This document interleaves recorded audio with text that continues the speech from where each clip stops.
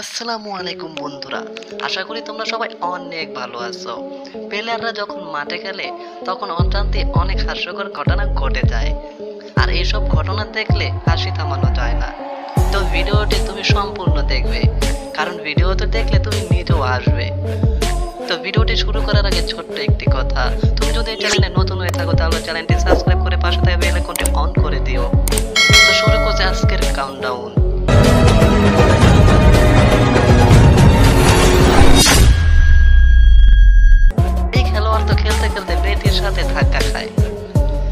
মেয়েটিকে সাইডে চাপানোর জন্য?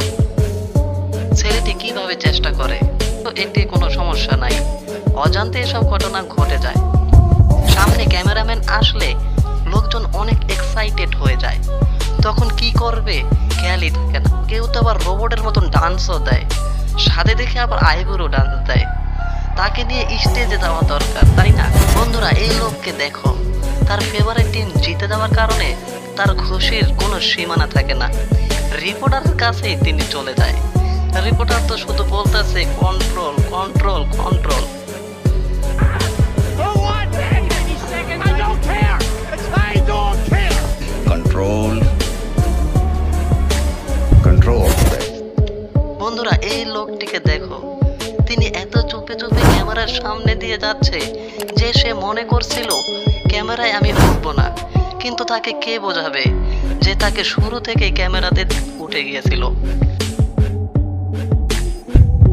জিম করতে গেছে এই লোককে দেখো। তার ভেতরে তো ফুর্তি দিয়ে ভরা। প্রথমে সে আনছে হালকা একটি রড, এরপর জিম ওয়াক করতেছে। এমন জোরে জোরে জিম ওয়াক করছে, সে পরে পর্যন্ত গেছে। তারপরে জিম ছাড়েনি। মনে হয় তিনি আজই বডি বানিয়ে ফেলবেন। তারপর চলে গেল মনে হয় তিনি বডি ফিল্ডার হয়ে গেছে। চুইংগাম খাওয়া ছেলেটি লিফটে ওঠে।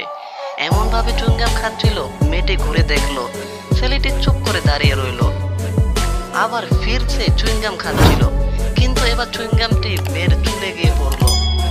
চুইংগামটি আনতে মেয়েটি থাপ্পড় দিয়ে বসে।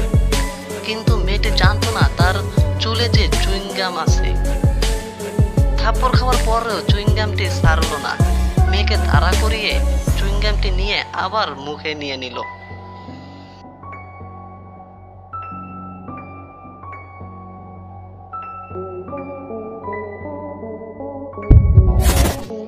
বাস কাউন্টারে কিছু লোক বাসের জন্য অপেক্ষা করতেছে। একজন মোটার মা বেঞ্চে বসেছে। আরেকজন মোটার মা দাঁড়িয়ে আছে, কিন্তু ওই মোটার মা বেঞ্চে বসার জন্য প্রস্তুতি নিল। আর বসার পরেই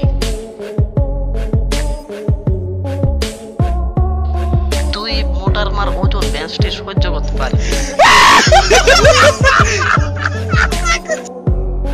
তো বন্ধুরা, ভিডিওটি তুমি যদি এনজয় করে থাকো, তাহলে একটি লাইক দিয়ে দিও। আর এরকম ইন্টারেস্টিং ভিডিও পেতে চ্যানেলটি সাবস্ক্রাইব করে পাশে বেল আইকনটি অন করে দিও। তো আজ আমি বিদায় নিচ্ছি। কথা বলছি পরের ভিডিওতে সে পর্যন্ত তোমরা ভালো থাকবে, সুস্থ থাকবে। আল্লাহ হাফেজ।